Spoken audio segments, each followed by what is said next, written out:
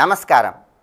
శ్రావణ మాసంలో వచ్చేటటువంటి మంగళవారం నాడు శ్రీకృష్ణుడు ద్రౌపదికి ఉపదేశించినటువంటి నారద మహర్షి సావిత్రికి ఉపదేశించినటువంటి మంగళగౌరీ వ్రతాన్ని ఆచరించటం ద్వారా స్త్రీలందరూ కూడా అష్టైశ్వర్యాలతో దీర్ఘ సుమంగళీ తత్వంలో విరాజిల్లుతారు అని చెప్పటంలో ఏమాత్రమూ సందేహం లేదు.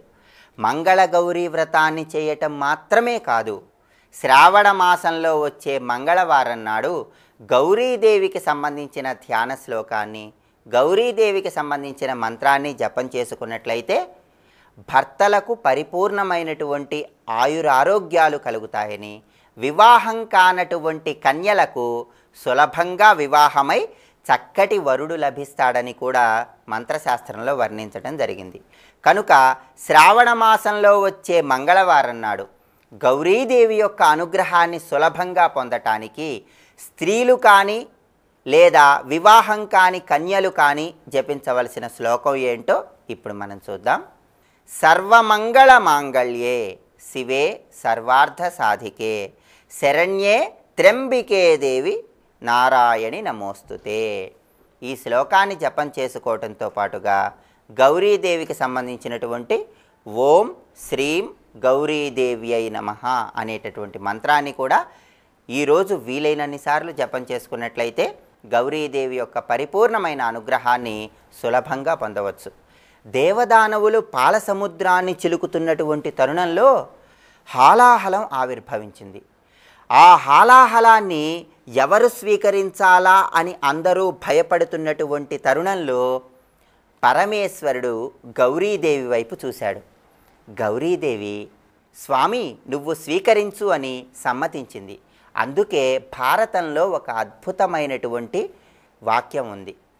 మృంగెడివాడు విభుండని మృంగెడిది గరళమనియు మేలని ప్రజకున్ మృంగుమనే సర్వమంగళ మంగళసూత్రమును ఎంతమది నమ్మినదో కదా అంటారు. అంటే తీసుకునేది హాలాహలమని తెలిసినప్పటికీ మంగళసూత్రం మీద నమ్మకంతో పరమేశ్వరుడి మీద ఉన్నటువంటి అపారమైనటువంటి నమ్మకంతో గౌరీదేవి అందుకు సమ్మతించింది. కనుక స్త్రీలు ఎవరైనా సరే భర్తకు అపమృత్యు దోషం ఉన్నట్లయితే ఆ అపమృత్యు దోషాన్ని తొలగింపజేయటానికి దీర్ఘ సుమంగళీ తత్వాన్ని పొందటానికి శ్రావణ మాసంలో వచ్చే మంగళవారం నాడు గౌరీదేవికి సంబంధించిన ధ్యానాన్ని గౌరీదేవికి సంబంధించిన మంత్రాన్ని తప్పనిసరిగా జపించాలి.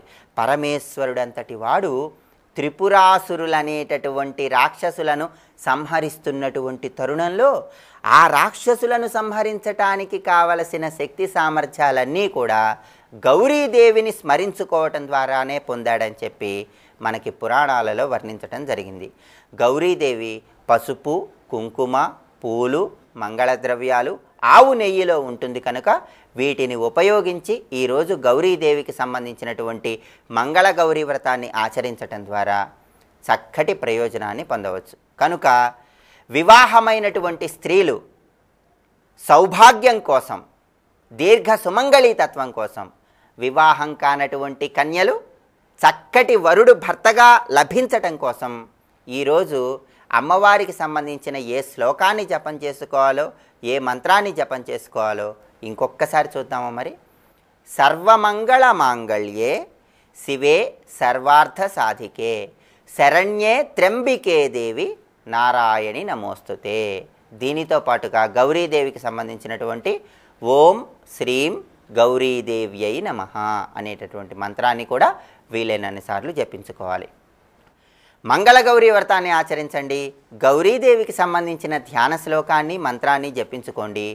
గౌరీదేవి యొక్క పరిపూర్ణమైన కరుణా కటాక్ష వీక్షణాలను పొంది ఆనందకరమైనటువంటి జీవితానికి నాంది వాక్యం పలకండి. ఇప్పుడు శుభదినం అనే అంశంలో ఈనాటి విశేషం ఏమిటో ఈనాడు ముఖ్యంగా ఆచరించవలసినటువంటి విధి విధానాలు ఏమిటో పరిశీలన చేద్దాం. సర్వే జనా సుఖినో భవంతు.